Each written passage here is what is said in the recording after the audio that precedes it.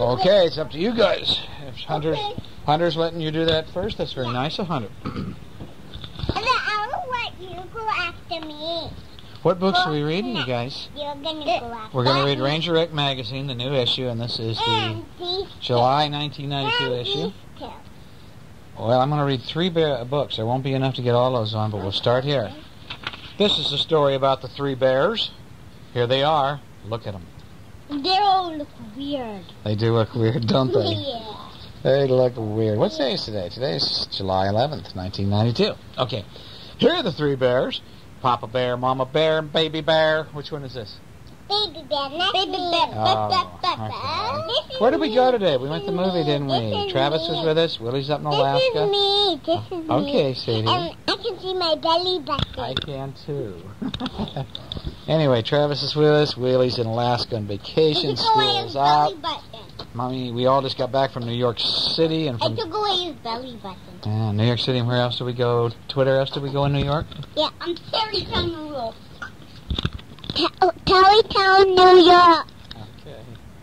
This one is Daddy Bear. Look at him. And Tarrytown, New York. all right, let me read the book now. Wait, wait. This one is the mommy bear. This one's the mommy bear right here. Look at her. Does she look weird? Hmm? This one is baby bear Cheyenne. It's holding my foot. Well, I'm sorry, honey. Don't grab it. What are you doing with your hair? Look at this. They go for a walk. Here's Goldilocks. No one is home, says Goldilocks. I can go in. So she's going into the three bears' house. Goldilocks wants some porridge. Here's Daddy's porridge. Oh, it's too salty for Goldilocks. She goes, ah. And then here's Mommy's bear's porridge. It's too sweet for Goldilocks. Blah, she says. But then here's Baby Bear's porridge. Oh, I like this porridge, says Goldilocks. Look, Baby Bear has no porridge because She ate it all up. Goldilocks ate it all up. And Goldilocks looks for a chair. This is Daddy Bear's chair, but it's too hard for Goldilocks. And here's Mama Bear's, but it's way too soft for Goldilocks. And here's Baby Bear's chair. I like this chair, says Goldilocks. And she sits down and. Uh oh, she broke the chair. I want to go to sleep, says Goldilocks. I can go up here. And she goes up the stairs. Now, Daddy Bear's bed is too hard. And Mommy Bear's bed is too soft. no lumpy. That's just too soft here for Goldilocks. And then she saw Baby Bear's bed and she says, Oh, I like this bed, says Goldilocks. And so she lays down, gets under the covers, and goes sound asleep. The bears come home and they go into their house. Oh, look, says Baby Bear. The chair's broken. I have no porridge, he says. The bears go up to look for Goldilocks. Up we go, says Daddy Bear.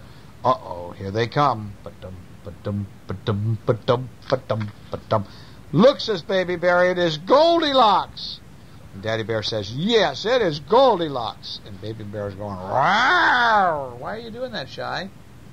That's gonna be Goldilocks. No, I don't want to go. Goldilocks jumps up. You can go home, says Baby Bear. Go home, go home.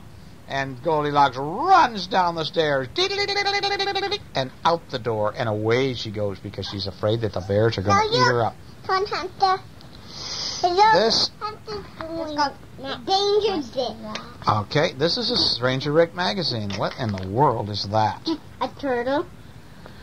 Boy, this says this is a diamond back turtle, and it looks as if it's happy to be alive. Diamondbacks live on the eastern and the Gulf Coast of the United States. About 80 years ago, people killed a lot of them for soup, and now they're doing better because people don't eat so much turtle soup anymore.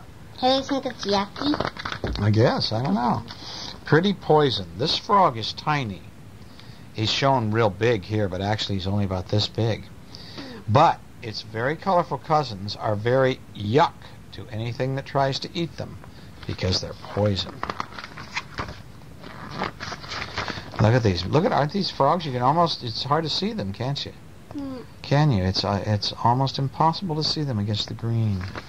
But that one of those throws. Look. Yeah, Looks yeah, like yeah. The one on Pretty weird. picture, the cube.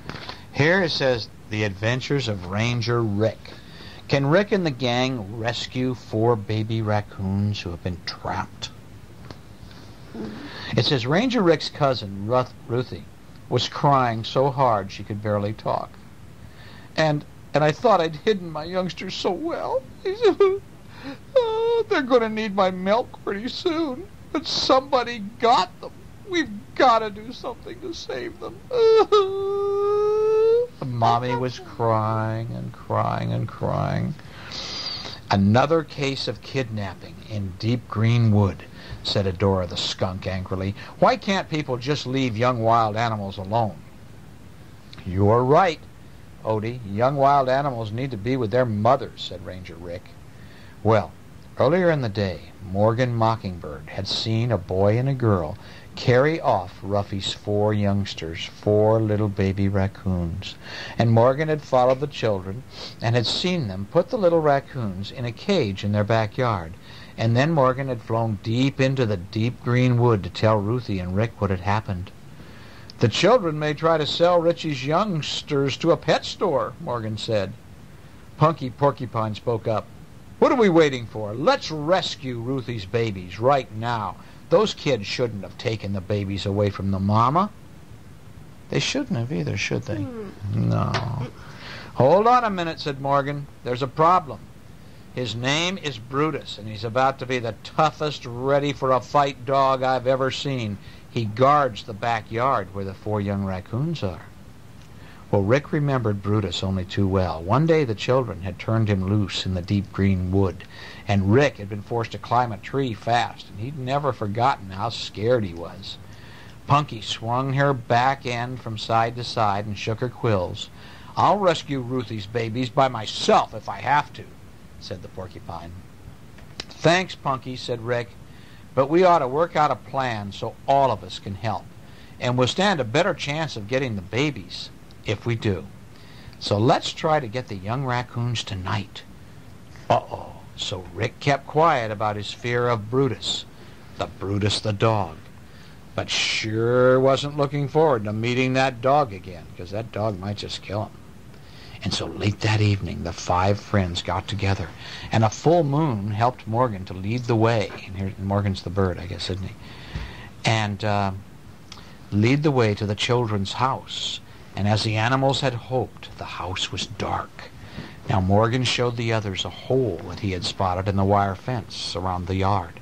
And Odie and Punky checked it out to be sure it was wide enough for them to call through. I'll go with you, Punky, whispered Ruthie. Wait, said Rick. I think it's better for just Odie and Punky to handle this. Meanwhile, Rick, Ruthie, and Morgan hid in some bushes that grew near the fence. Just on the other side of the fence was Brutus's doghouse, and he was lying beside it, his ears cocked for the slightest sound. And suddenly, Brutus heard a voice. Meow, it said. Hey, Mutt, you can't catch a flea on your own ratty tail. Morgan Mockingbird was very good at imitating voices. He sounded like some big bad tomcat. In a second, Brutus was up, growling, and he hurled himself at the fence. Meow!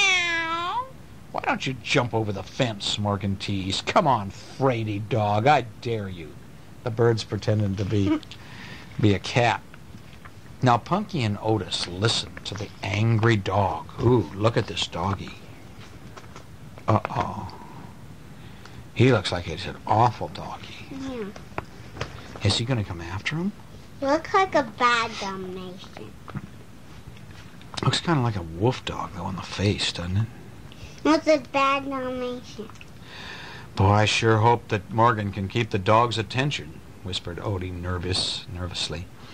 Well, now she and Punky had slipped through the fence and had found the cage, and the little raccoons pressed their noses against the cage wire, and they squeaked at Punky and Odie, and they tried to touch them with their tiny claws. Your mama's close by, said Odie in a soft voice. Don't be afraid. We're coming to get you out of here. Boy, said Punky, this latch is tight, and she and Odie tried took turns trying to work on it and trying to open it up. Outside the fence, Morgan whispered to Rick, Crawl through the hole in the fence, and maybe if Brutus sees you, we can keep him away from Punky and Odie a little bit longer. Well, Rick just looked at Morgan, and he didn't move. What's the matter with me, he thought. Those are my friends in there, but he was too scared to do anything. Ranger Rick was really afraid that that dog might get him. And suddenly there was a crash from inside the yard, and Punky had given the latch one last tug, and the latch snapped open so quickly it threw her backward. It threw her backward into a pile of firewood, and the firewood tumbled down, and everybody heard it. Brutus whirled around and ran toward the noise, and when he saw Odie standing there, he growled, and then he charged. Now Odie was frightened. She'd never seen such a big dog before, so she got ready to, to spray her skunk juice.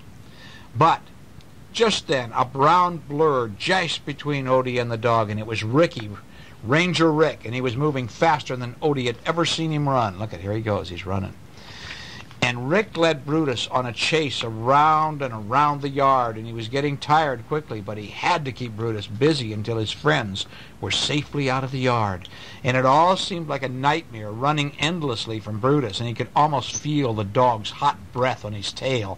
And just as Brutus was about to catch Rick, something dashed toward the dog from the side. It was Punky.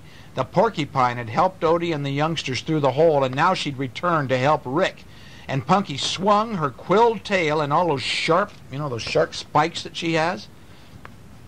She swung her quick quilled tail at Brutus as he raced past her. The dog saw the danger and jumped out of the way at the last second, but he lost his balance and with a loud yelp, he fell into a tangle of bushes. Come on, Rick, let's get out of here, said Punky as lights flashed on in the house. Once Rick and Punky got back to the deep green wood, they looked for Ruthie and Odie. And when they found them, Ruthie was giving her little ones a much-needed meal. She, Mommy was giving the little ones some milk to drink. And Morgan was perched on a bush beside her and smiling. Odie watched the happy scene. I want to thank you all for helping save my little ones, said Ruthie. That was a brave thing you did, Rick. I'm glad Punky stopped Brutus just in time. I thought he had you. And suddenly it dawned on Rick. He had been brave after all. I didn't mind admitting it now, he said, but the truth is I was scared to death. That Brutus is one mean dog.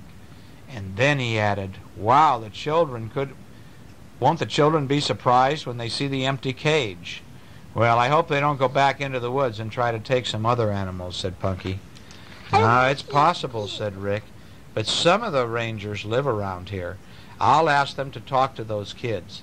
They can let them know if it's let them know that it's wrong to take baby animals from the wild. Isn't it against the law? said Odie. It is here and in many states, said Rick.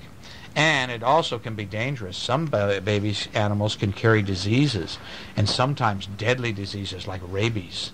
So it's a bad idea even to pick up wild animals. And knowing your ranger will help us to make me feel a little better. Knowing the Rangers will be helping us makes me feel a little better, said Ruthie, looking at her youngsters. Bellies full, the little ones curled up in a tight ball, safe once again and sound asleep. Oh, so they saved the kids. Huh? What are these? Butterflies under the ground in the under the water in the ocean. These are little lion things that are in the water. Look at the mouths on them. Wow. These are called lion sea slugs. These snail cousins look like two fierce lions roaring at each other. Whoa, what about that kind of a car? Cool, I want that kind of Do you like that? What about that kind of car? Well, these are little models that the kids race. And that's a big kind of car. It's, it looks to me like it's probably a solar I car. want this kind of car. I want this kind of car. Yeah, yeah. That's a solar car. You know what makes it go? Wow. The sun. The sun is a collector and it gives the car energy and the car runs on it. Oh, I want that. Okay? What is that? A little puppy. It's a caterpillar. Caterpillar. Then why, did- then why is the caterpillar like that ankle? Here's its eyes right there, see? These are its kind of nose and these are its pinchers. Then what's that? Another kind of caterpillar. And how come it's like that first and then it changes into that? Because that's how they grow. It turned into a furry caterpillar. Careful, honey, don't hit the, the tape player here, okay? You set it on my foot. Well, honey, there's no room. You have to put your foot over here. Don't put your foot right under the tape player. Look at this. There's more kinds of caterpillars. That looks like a cactus, doesn't it? Mm.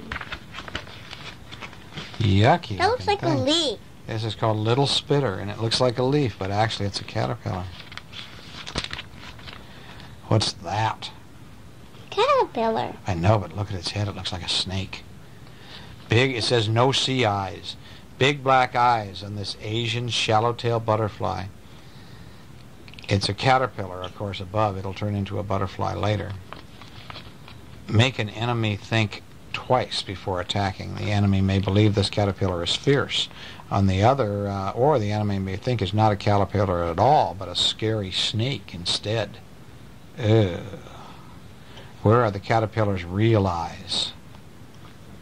They're the tiny brown dots down at the side of its head. Down here, there's little tiny dots there.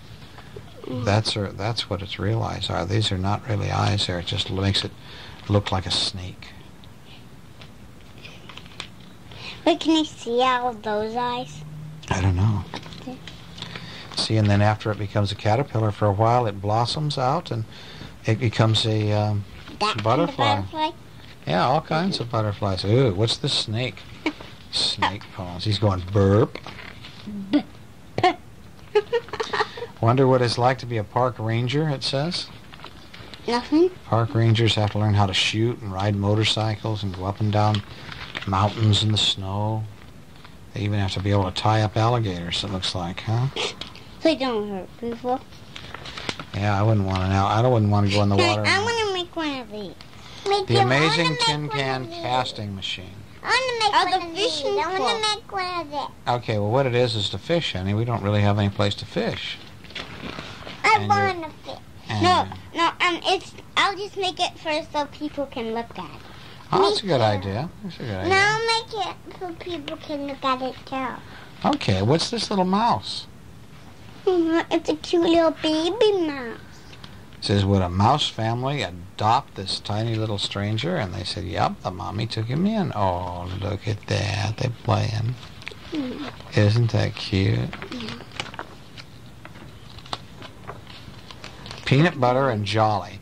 The kids left this yummy snack in the kitchen for the little one, and the adventurous mouse went right to it. Now, look at him standing up here. Looks like he's trying to get a grape, isn't he? He A few weeks ago, the young adopted mouse left her family for good. Good luck, little one. And of course, that's what's on the front cover, isn't it? The mouse, and the mouse is eating a raspberry.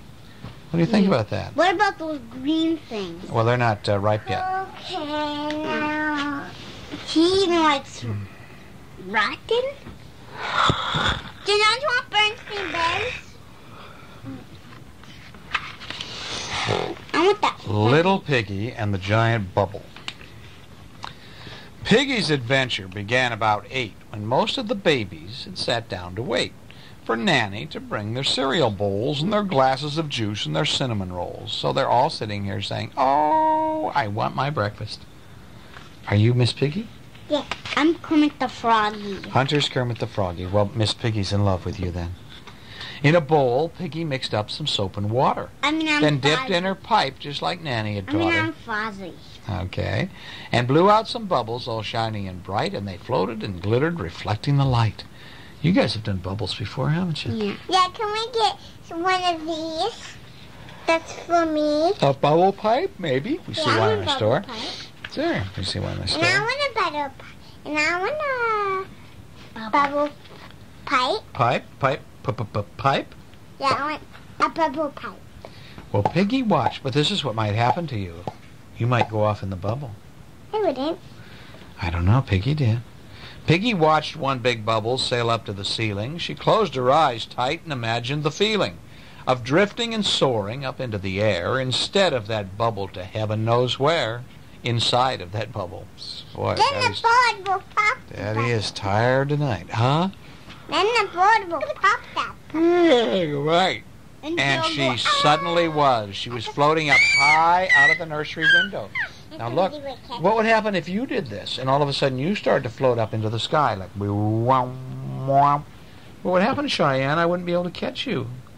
You'd just be floating up, up, up higher And into the you sky. pop the bubble? You, a ball will pop the bubble and you will catch Well, if you pop the bubble, you would fall. I'd have to be right directly under you to ever No, catch you. Hunter will. Hunter will catch you as you fall down out of the sky. Will fall down out of it. Well, you're the one that got in the bubble. But I'm gonna go in the bubble and Oh, I don't know. She bounced towards a tree and then came down to rest in a newly made, slightly stayed, tidy, trim nest. And filled with tiny blue eggs, less than half Piggy's size. Blue eggs, Piggy said. What a pleasant surprise. And look at she's on top of them. Uh-oh. Then, just just then in a rush, a plump robin flew by. She stopped and she stared and then she let out a cry. For one of her eggs was unusually big, and what's more, the big egg held a cute little pig. That's me. Oh, oh. The mother bird squawked, and the mother bird fluttered, and she leaned very close to the bubble and muttered, A pig in my nest? Why, that doesn't seem right. I hope you won't mind if I seem impolite. You're a bit out of place, so you really can't stay. And then with a gentle push, she sent Piggy away. She probably just brushed her with her wings. What do you think? Yeah.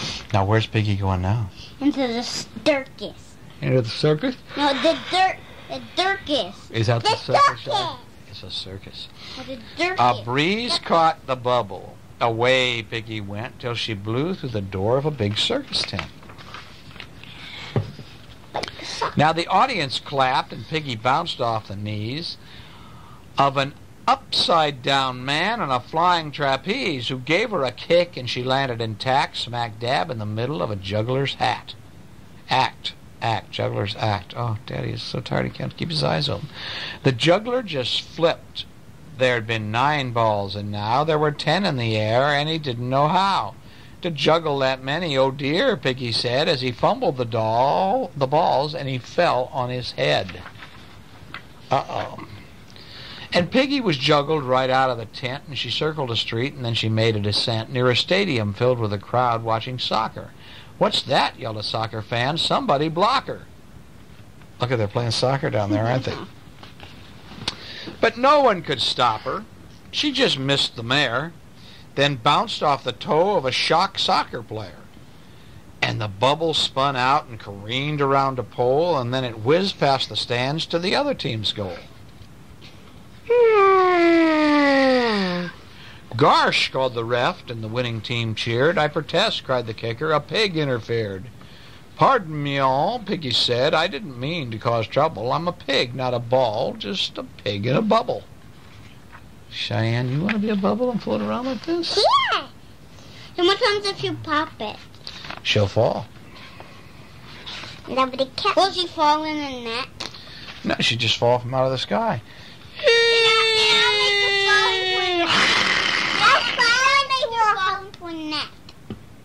No, I'll fall into water, in, into a hot tub. And swim? I'll I'll stand up. And swim? No, I won't swim. Okay. Okay, okay. Scream. I'll go, The ref crossed the bubble so far that it flew past the bus stop, the toy store, the park, and the zoo. Look at it, it's going over everything. Here's the whole town. It flew over the zoo, it went over the park, over the store, Toy over the train. It blew through the smoke of a puffing freight train, and the smoke puffed the bubble right up to a plane. Then the plane pops and she falls into the ground, and then she falls right in the, into the tree chimney. Well, I want to tell you what's happening. The pilot was spelling out words in the sky. He didn't look up to the bu- as the bubbles flew by, but when he was finished, he noticed an O that didn't belong at the end of go. Go. Zzz, there she is floating up there. My go, gasped the pilot. This never will do. A go with two O's isn't a go, it's a goo. The cloud. If I go up there. Yeah. See, it didn't spell go anymore. G-O spells go, but when you add another O, it spells goo. Goo. Yeah. So the bubble swooped down, looped around, and just then Piggy saw she was back near the nursery again. And the bubble stopped near a s- top of a tree. And when it came face to face with a striped bumblebee. Uh-oh. A bumblebee's in a pot. Now the bee called the bubble. The bee eyed the bubble, and poor Peggy trembled. She called to her friends, who all acted assembled, quickly assembled. poor daddy can't read tonight. Help, Piggy shouted. I think I'm in trouble. One sting from this bee the, means the end of my bubble. Please, Uh-oh. Mama. And we'll find a solution. Can you read it, uh, Mama? Cheyenne, let me finish this one. We'll find a solution, called Kermit. Don't worry. The sooner the better, said Piggy. Don't hurry. And after much consolation involving debate, they came up with a plan that was truly first rate. We've got it, cried Kermit.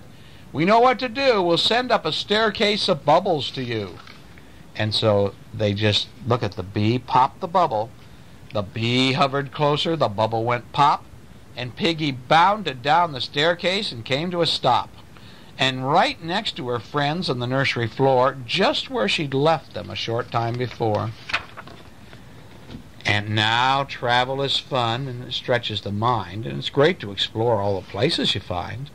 But when the trip ends, when you'd rather not roam, you can take it from Piggy. There's no place like home. I always like to come back to our home too? Well, the tape's almost out. Tell me what you like best in Cheyenne. Tell me what you guys like best in New York. Um, the playground. The playground. You like the playground in Tarrytown? Yes. Huh. What did you like in New York where we in Manhattan where we went to look at the museum? Did you like that museum? It was What's Manhattan? It was the Museum of Modern Art. It was silly. Why was it silly? I mean, it was stupid. Why was it stupid? Because. Hunter's laughing over here on the other side of me. He thinks it's funny you said that. Why was the Museum of Modern Art stupid? Huh? because it was stupid. You sure? You sure? It was stupid. Oh, It shy, was shy. funny. Stupid. Funny. Shy, shy. What did you like in it, Hunter? Um, that that picture that I always saw a hundred times. I like the car. A car. Okay, what was the piece, Hunter?